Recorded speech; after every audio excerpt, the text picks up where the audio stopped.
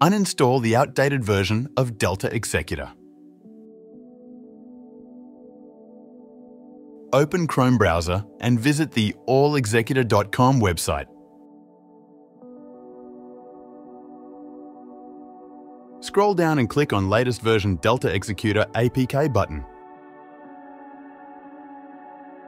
Scroll down and select any download server, Mediafire, Google Drive or OneDrive.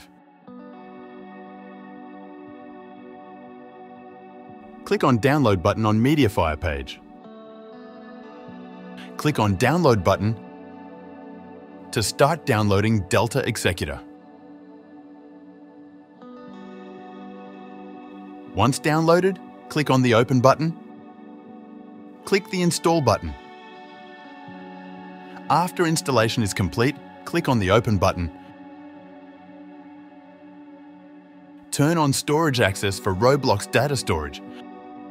Go back and log into your Roblox account in Delta Executor. Choose any game you want to exploit. Click the play button.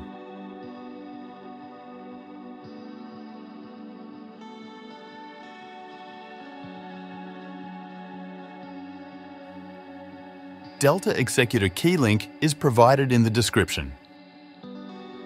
Wait until the Delta menu pops up, then enjoy.